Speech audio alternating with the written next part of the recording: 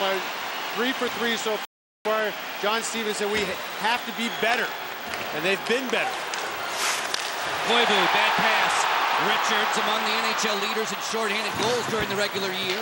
Crisscrossing in. He scores!